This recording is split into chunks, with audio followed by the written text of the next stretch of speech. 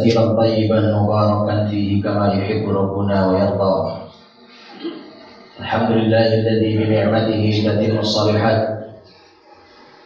أشهد أن لا إله إلا الله وحده لا شريك له وأشهد أن محمدا عبده ورسوله. اللهم صل وسلم وبارك وأنعم على رسولنا وشفيعنا وإمامنا ونبينا محمد صلى الله عليه وسلم وعلى آله وأصحابه ومن تبعه بإحسان إلى يوم الدين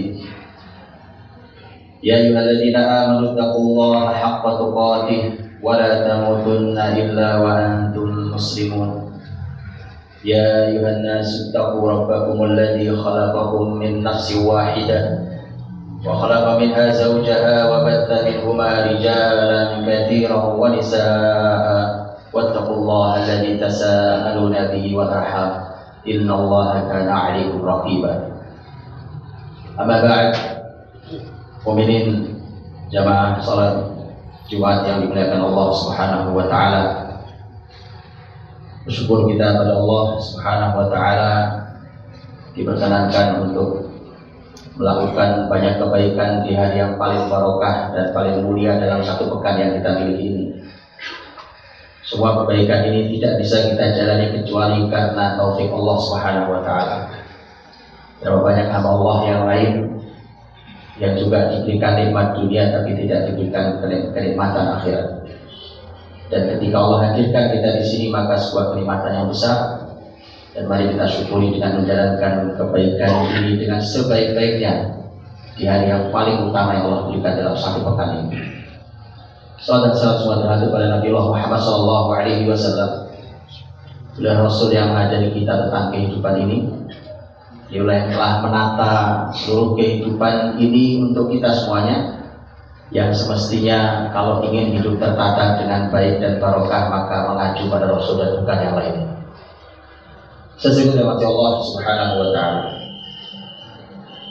1115 tahun yang lalu.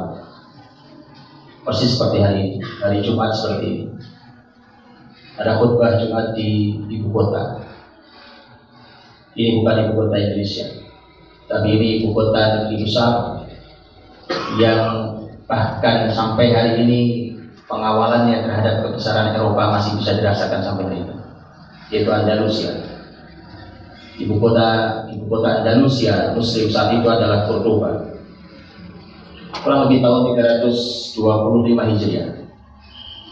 Khutbah Jumat yang disampaikan oleh imam besar masih raya Cordoba sekaligus seorang alim besar, kodi besar, hakim besar di negeri Andalus yaitu Mundir bin Said al-Baluti rahimahullah ta'ala khutbah yang membuat sang khalifah murka. Marah. Tapi jangan salah paham. Khalifah ini pemimpin tertinggi Andalus muslim ini adalah orang yang soleh. Orang yang hebat pemimpin yang luar biasa mujahid dan dialah orang yang mengantarkan Andalus menuju puncaknya. Delapan abad lamanya Andalusia, Muslimin ada di Andalusia, yang wilayahnya meliputi Spanyol, Portugal, Prancis bagian selatan dan kepulauan Sisilia yang sekarang milik Italia. Delapan abad lamanya itu puncak kebesarannya ada di masa ini, yaitu di masa Abdurrahman An-Nasir rahimahullah taala. 50 tahun beliau memimpin tapi tidak jadi diktator. 50 tahun memimpin tapi tidak membuat dinasti. 50 tahun pemimpin mengantarkan muslimin menuju kemakmurannya, kesejahteraannya, keadilannya, kenyamanannya, dan tegaknya syariat Allah di muka bumi. Memang menarik tentang mengapa Khalifah marah dengan khutbahnya sang Qadi dan Qadi Mundi bin Said al-Baluti adalah seorang ulama yang tidak pernah takut siapa pun, tidak khalifah bahkan. Ini adalah ulama yang luar biasa. Karena Qadi Mundir bin Sa'id al-Baluti rahimahullah ta'ala melihat bahwa sang khalifah ini sudah tiga kali Jumat terlambat. Bukan tidak Jumatan. Terlambat, datang terlambat. Tak semestinya seorang pemimpin datang sholat terlambat. Tak semestinya. Kalau kita ingin bicara tentang kemakmuran sebuah negeri. Karena posisi pemimpin bukan posisi rakyat. Terlambat saja jadi masalah bagi sebuah negeri, apalagi tak sholat. Maka ketika sudah tiga Jumat terlambat, dan sebenarnya keterlambatan itu adalah sebuah urusan kenegaraan. Karena kurang lebih 13 km dari Cordoba ke arah pinggir, Sang Khalifah sedang membangun sebuah kota besar yang baru, namanya dinamakan kelak menjadi Madinah Zahra. Kota yang legendaris dalam sejarahnya, kota yang dahsyat dalam sejarahnya, kota yang sangat lengkap dan sangat indah. Karena sibuk dengan itulah maka dia terlambat Jumatan. Sehingga ketika Qadi Mundir ingin memberikan ceramahnya di dalam khutbah Jumat seperti ini, maka mimbar-mimbar Jumat itu digunakan untuk menyampaikan kebaikan masyarakat. Mimbar ini bukan sekedar sebuah mimbar yang digunakan untuk formalitas menggugurkan kewajiban Jumat. Tapi ini adalah merupakan mimbar yang sakral, mimbar yang luar biasa. Dipakai dulu oleh para ulama bahkan para pemimpin untuk menyampaikan panduan untuk menyampaikan arahan, untuk menyampaikan bimbingan. Karenanya ketika khutbah Qadimun bin Sa'id al-Baluti ingin menyampaikan pelajaran untuk umum, tapi secara khusus dia ingin menyampaikan pada khalifah sudah tiga kali cuma terlambat. Begitu beliau membuka khutbahnya, beliau membaca ayat dalam surat Asy-Syu'ara. A'udzubillahi bi kulli ri'in ayatan.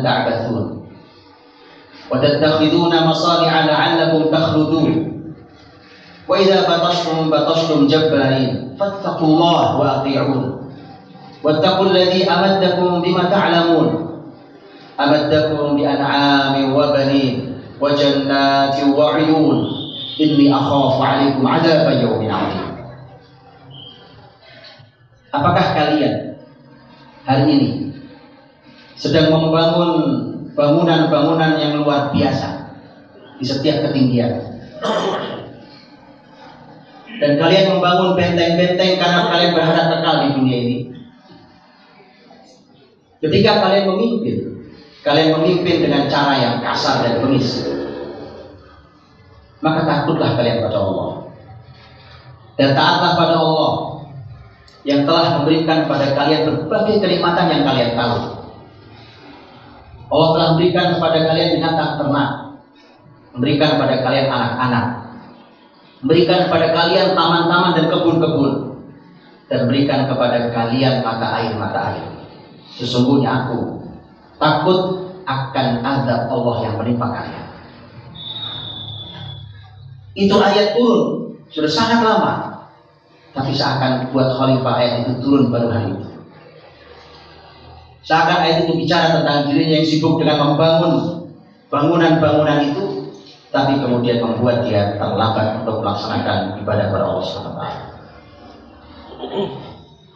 Begitu selesai khutbah, maka pulang ke rumah dan Khalifah bercerita pada putranya dalam keadaan sangat marah.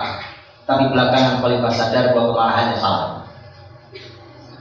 Ini adalah pemimpin yang luar biasa manusiawi mungkin tersinggung tetapi dia segera sadar bahwa kemarahannya salah.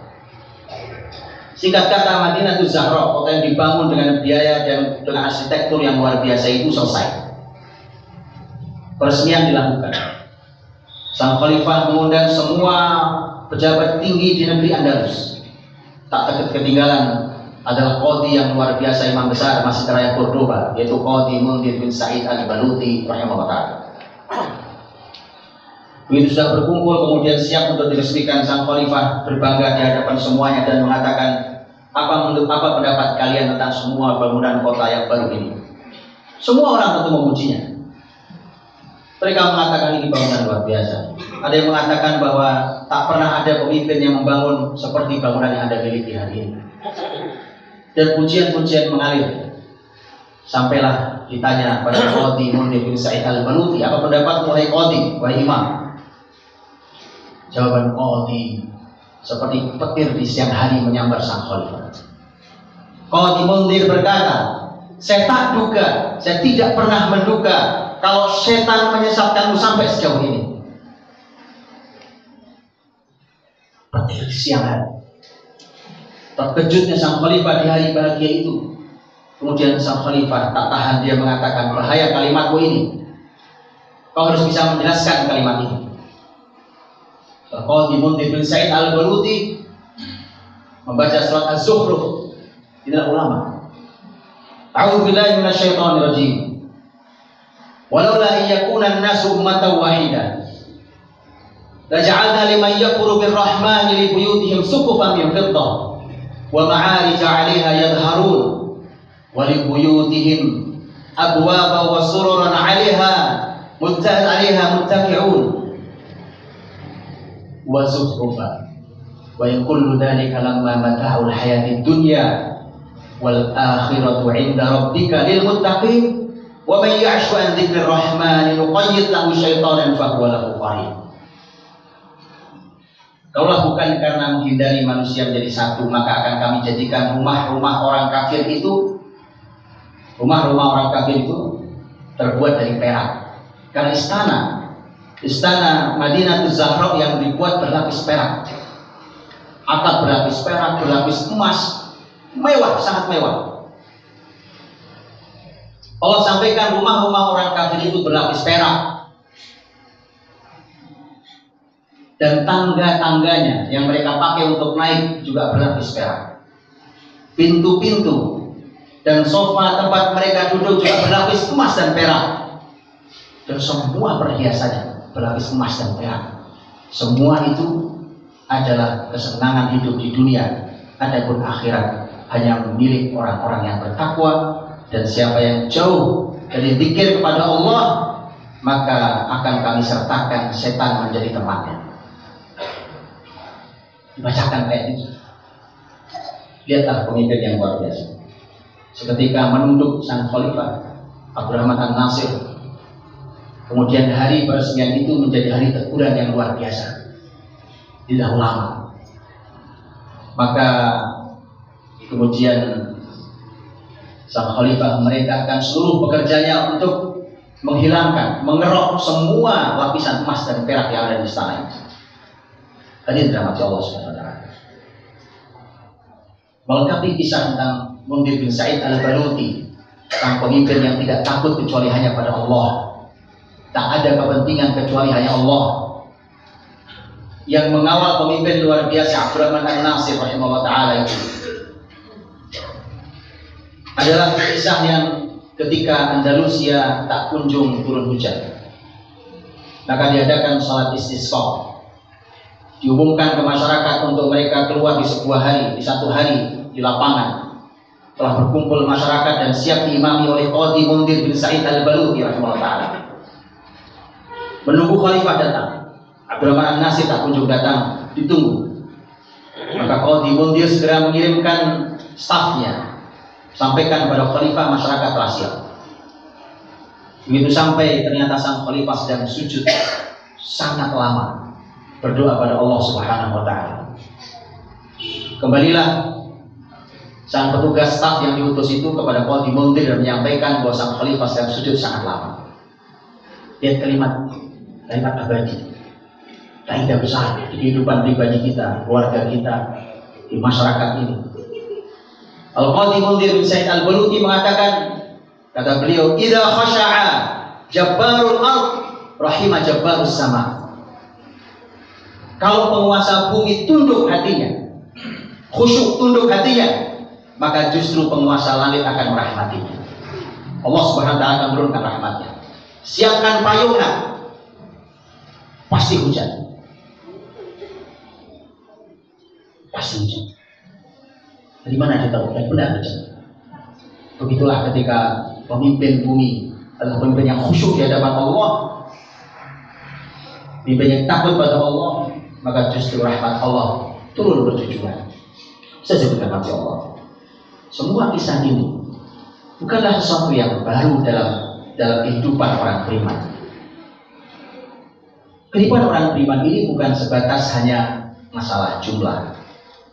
Bukan masalah berapa harta Anda, bukan berapa anak Anda, bukan berapa seberapa banyak ilmu Anda, bukan itu babnya. Bukan hanya masalah jumlah, tetapi masalah kualitas dari jumlah itu. Dan kualitas itu dinamakan dengan barokah. Barokah inilah yang hilang Ketika barokah itu hilang, negeri sekaya apa pun, orang semakmur apa pun hartanya, sebanyak apa pun hartanya, sebanyak apa pun ilmunya, sebanyak apa pun anaknya, maka dia tidak ada gunanya. Karena keberkahan yang hilang. Karena ketika Allah Subhanahu wa taala berfirman dalam ayat yang kita sering mendengarnya, "Wa anna ahlul qura amanu wattaqau la fatahna 'alaihim barakat minas sama'i wal ardh." Penduduk negeri mau beriman dan bertakwa pada Allah, kami munculkan keberkahan-keberkahan dari langit dan kami bukakan dari bumi. Yang hilang adalah keberkahan. Bukan masalah, bukan hanya masalah padang pasir atau daerah yang hijau, bukan masalah tropis atau subtropis, tapi masalahnya adalah barokah atau tidak barokah. Maka Rasul Shallallahu Rasul kita Muhammad Wasallam, ketika memasuki negeri pertama kali dan negeri itu lebih sangat bermasalah, yang kemudian menjadi negeri Nabi yaitu Madinah Nabawiyah Madinah Munawwarah.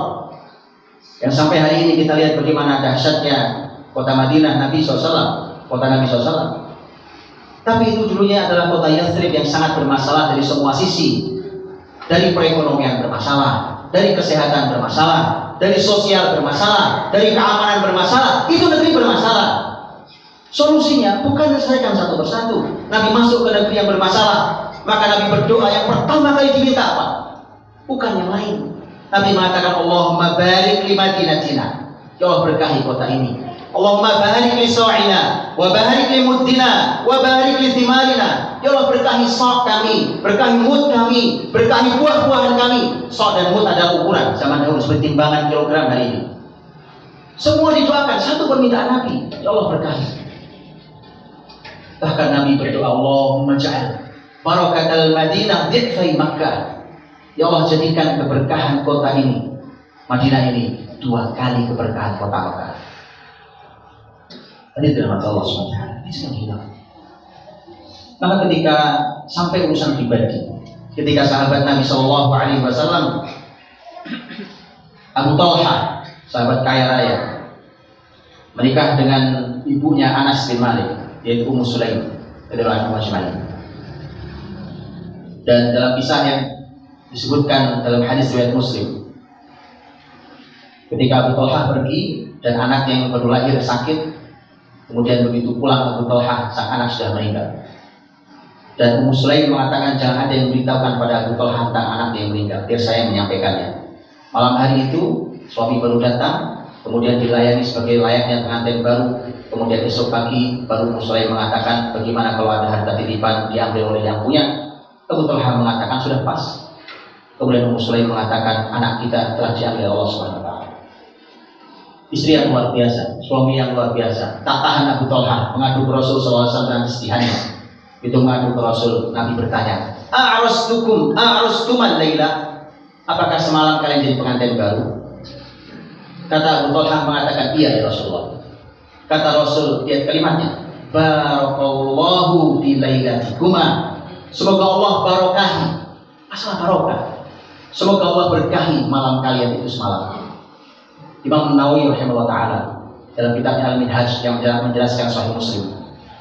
Dia mengatakan kemudian lahirlah dari malam itu hamil istrinya Ummu Sulaim hamil lahirlah seorang anak bernama Abdullah. Abdullah ini yang menamai Nabi dan Abdullah ini ditahnik oleh Nabi SAW dipangkuli Nabi sejak bayi masih merah. Dan Abdullah telah melahirkan 10 anak yang sepuluh-sepuluhnya adalah ulama besar di masyarakat. Dia adalah barokah itu. Dia adalah barokah itu. Kalau hidup kita, harta ada, rumah ada, kerjaan ada, keluarga ada, apa saja ada.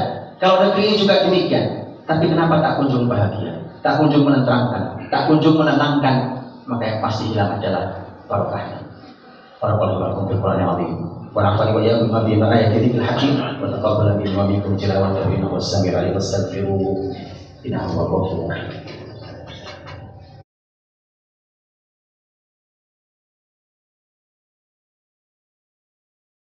الحمد لله وكفى والصلاة والسلام على رسول الله المصطفى وعلى آله وأصحابه محمد صدق والوفاء ومن سار على نهجه فقد اهتدى ولا حول ولا قوة إلا بالله العلي العظيم يا أيها الذين آمنوا اتقوا الله وقولوا قولا سديدا يصلح لكم أعمالكم ويغفر لكم ذنوبكم ومن يطع الله ورسوله فقد فاز فوزا عظيما أما بعد Sesuai rahmati Allah SWT, ulama meringkas dengan satu kata. Dengan dua kata, keberkahan itu adalah ketika yang sedikit mencukupi dan yang banyak tidak membahayakan. Ketika yang sedikit mencukupi dan yang banyak tidak membahayakan. Karena terkadang yang sedikit adalah kekurangan dan yang banyak justru membahayakan. Barokah yang sedikit mencukupi dan yang banyak tidak membahayakan. Mudah Allah SWT berkahi semua yang ada di kita. Allah berkahi sisa usia kita. Allah berkahi harta kita. Allah berkahi keluarga kita. Allah berkahi pekerjaan kita. Allah berkahi lingkungan kita. Allah berkahi negeri ini. Semoga Allah turunkan berkah untuk kita semuanya. Allahumma salli wa sallim wa barik ala Muhammad wa ala alihi wa sahbihi ajma'in. Hamdan yuwafi ni'amahu wa yukafi mazidah. Ya Rabbana lakal hamdu wa lakal syukru kama yanbaghi li jalali wajhika wa 'azimi sultanik. اللهم إنا نسألك ونشهد أنك أنت الله لا إله إلا أنت الأحد الصمد لم يلد ولم يولد ولم يكن له كفوا أحد اللهم بارك لنا في أعمالنا وبارك لنا في أموالنا وبارك لنا في أعمالنا اللهم بارك لنا في دولتنا اللهم بارك لنا في جميع امورنا يا ارحم الراحمين يا مجيب السائلين يا حي يا قيوم برحمتك نستغيث اصلح لنا شأننا الذي شأننا كله ولا تكلنا إلى أنفسنا طرفة عين ربنا تقبل منا إنك أنت السميع العليم وتب علينا إنك أنت التواب الرحيم ربنا اغفر لنا ولإخواننا الذين سبقونا بالإيمان ولا تجعل في قلوبنا غلا للذين آمنوا ربنا إنك رؤوف رحيم اللهم اغفر لنا ولوالدينا وارحمهم كما ربونا صغارا ربنا آتنا في الدنيا حسنة وفي الآخرة حسنة وقنا عذاب النار سبحان ربك رب العزة عما يصفون وسلام على المرسلين والحمد لله رب العالمين أقول قولي هذا وأستغفر الله لي ولكم وأقم الصلاة